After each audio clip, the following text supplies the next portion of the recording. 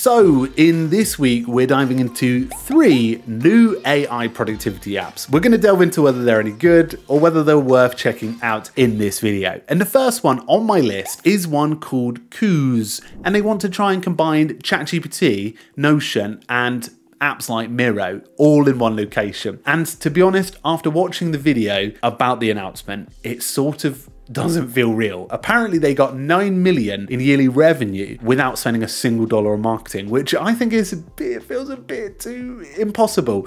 I don't really know, but they are an application that's getting a lot of attention right now. And using it, it feels a little bit strange. It feels sort of like a baby version of Miro. Doesn't necessarily feel like Notion, just feels like a canvas. And these sort of canvas apps are getting incredibly popular, and they will be in the future. Today's video, before we start, is kindly sponsored by Modash. If you're a Shopify store and you want to upgrade it by interacting with influencers, then that's the place to go. They've got a great platform for it. You can find it linked below and a little bit more about it later in this video. So yeah, Kuse AI, a very interesting platform because it does look like Miro or Milanote, uh, these type of apps, but that visual canvas is actually quite effective because there are apps like Obsidian Canvas, which do incredibly well at making this environment, but this combines it with AI, allowing you to chat with the sources that you provide. And apparently teachers are using it, students are using it, and also apparently 200,000 people are using this. Again, the introduction video was very vague, but the website looks quite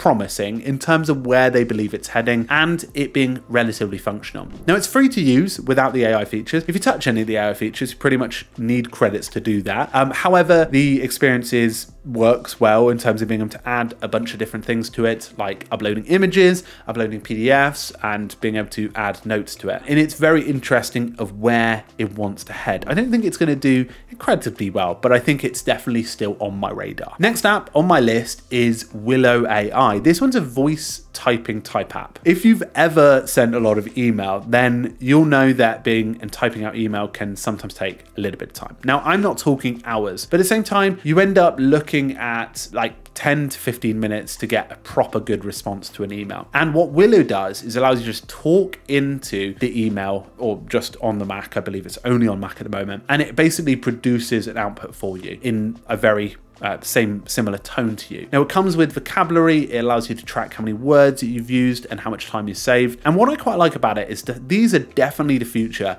of people who work from home responding to email.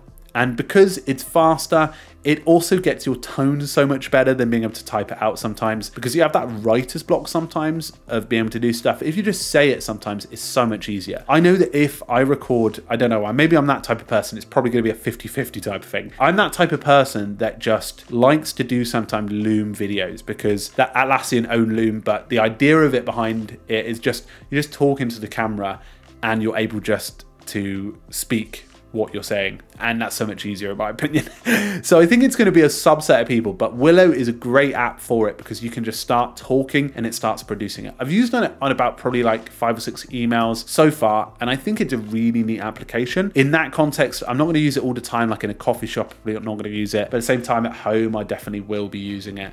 And I think it's a really attractive app for that. There are a couple of alternatives like Super Whisper, Wispr Flow. I'll include those below, but largely these type of apps I think have a place in the productivity market. Black Friday really doesn't have to be that hard. Every year it seems like a scramble with fees spiking, creators going MIA, and your team is glued to Google Sheets at 10 pm, and it really doesn't have to be that way.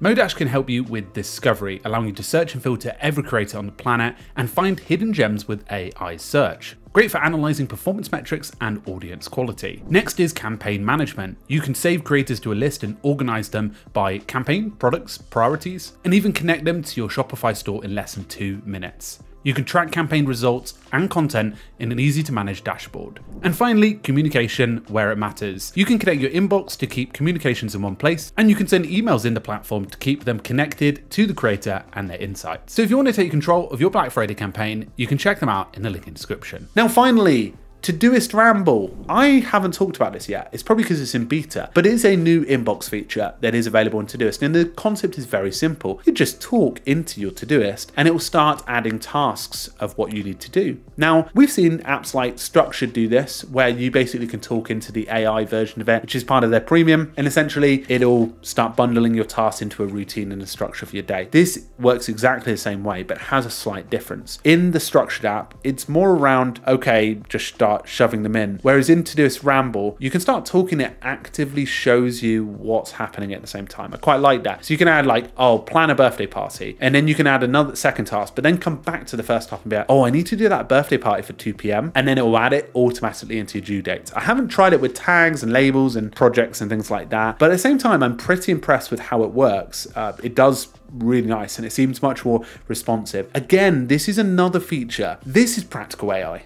I'm sorry, but there's a lot of AI that's completely unpractical. If you look at like subtasks in Todoist, where you can generate your subtasks using AI, you, I don't know anyone who uses this. I don't. Please in the comments share whether you use it, but I think it's completely pointless because there's context behind the task and what you need to do. If it's something like I don't know, clean the car, then that's much more generic. You might use that, but the practicality of it is completely. I, I doubt there's a good adoption level for this sort of thing.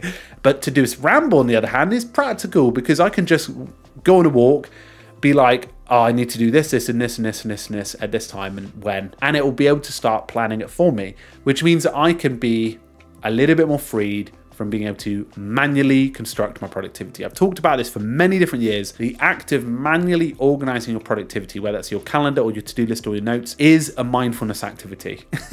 it's an activity for you to calm down, really, because in the future, we'll just have these like that's a form of agentics workflow where you don't need to use the keyboard or you need to use a visual interface to do it. And being able to visualize what tasks you have after that, of course, in Todoist Ramble will be visual, but the act of organizing itself will be done for you. So I think this really correlates well to, to that theory. So if you enjoyed this uh, AI productivity tools uh, segment, feel free to share it below because I don't know whether this was any good.